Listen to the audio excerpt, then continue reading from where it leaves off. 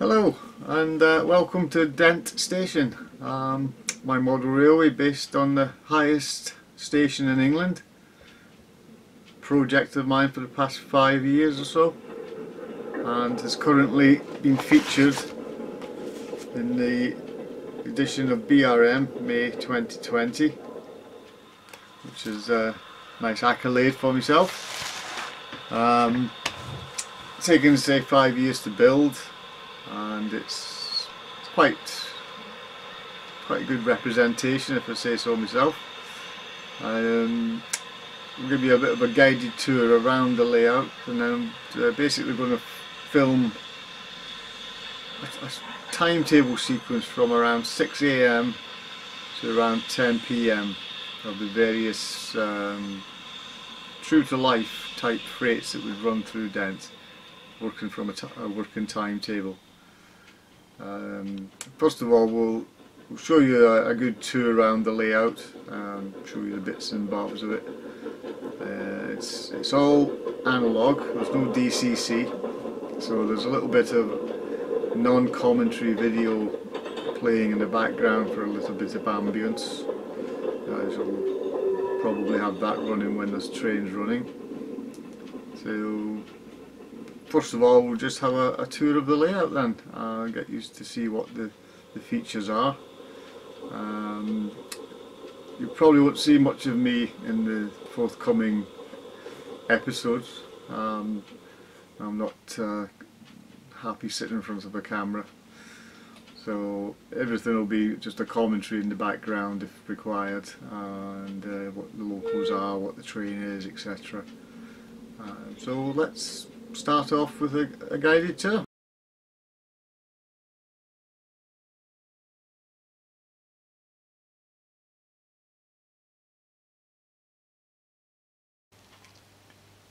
At the south end of the layout, uh, some modeller's license has had to be used. Uh, obviously don't have the length to reach Blea Moor Tunnel. The fell uh, above Dent Station is known as Widdale Fell. So I've created Widdale Tunnel and Viaduct. I don't have room for Arten Gill or Dent Head so this is the, the closest I can get in the space available.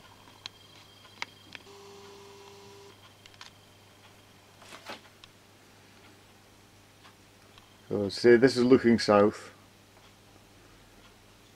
Trains towards Hellifield through this tunnel and then we pass through into Dentdale itself. And the hillside is the well famous quite famous snow fences. Uh, the period modelled is the 50s 60s end of steam era into diesel and the fences by this time were pretty well dilapidated.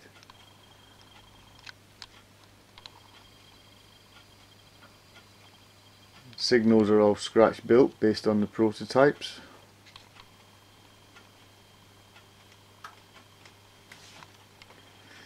We carry through and we come to Dent Station signal box and the plate layers bothy.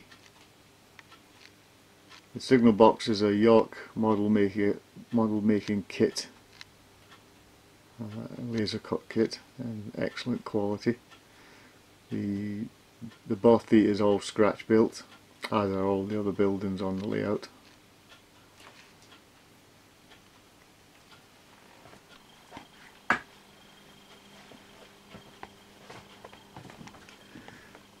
You're looking south again.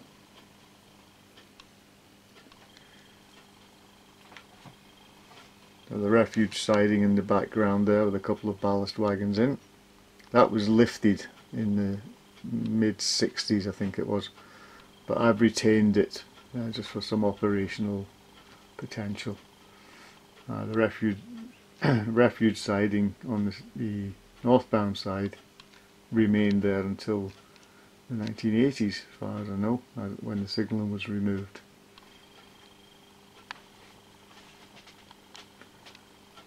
This is a good yard.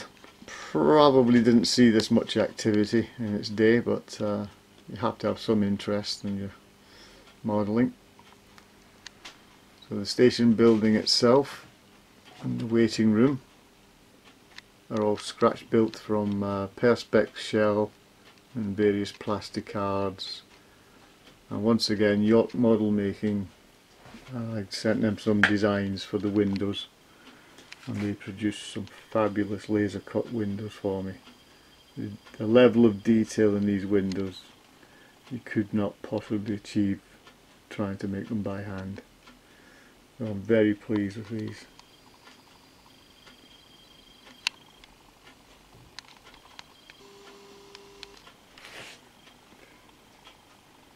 And then we come through the first feature of the the line is Monkey Beck. It's known as so the bridge into the station from the coal road. So that's Monkey Beck running underneath the railway. And then bridge number 96 the coal road bridge. That road leads directly to Garsdale. You go across there for about three and a half mile and you'll reach Garsdale station. Station Master's house. Uh, I know the owner and he's uh, informed me it does still does not have a water supply. All water required is taken from Monkey Beck.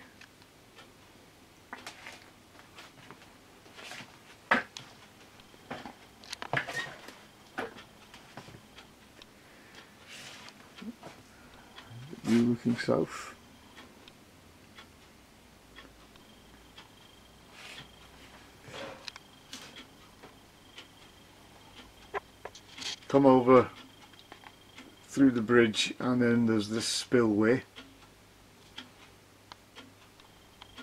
And then once again we have to have a little bit of modeller's license because Rise Hill Tunnel is uh, a good mile and a bit in distance but we have to bring it a bit closer. There's another culvert here and a distance signal and we find we've arrived at the far end of the layout. Rise Hill Tunnel.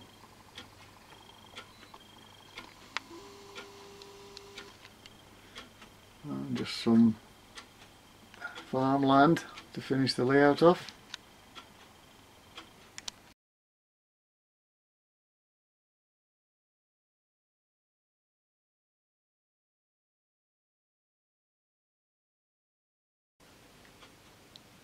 This is the main control panel. This can control the complete layout if I'm on my uh, operating on my own. Uh, we do have some friends who come around twice a week and we have a operating session where we have a control panel each. Show you those now. This is dent head control panel with the fiddle yard to the right and the main lines are the two black lines with the blue line in between. They run through the station. The two other black lines above them are two hidden loops which run behind the scenery. This is the guard. This is the Garsdale end fiddle yard. Again, the two black lines are seen for the other end of those loops, and the fiddle yard runs off to the left on here.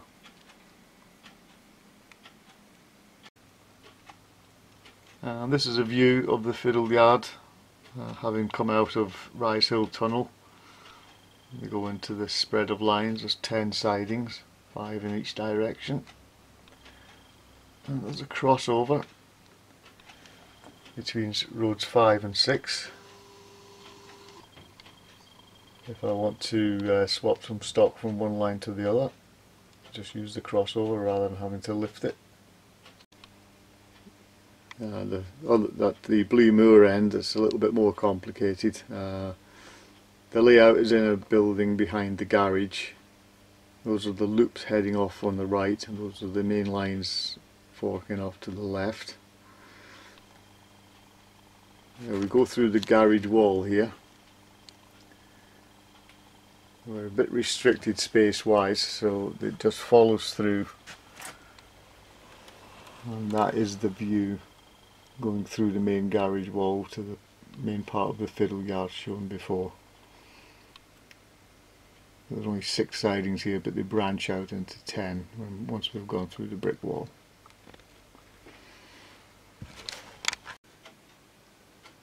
Now just a general view of the whole layout and then we'll commence with the first train of the day.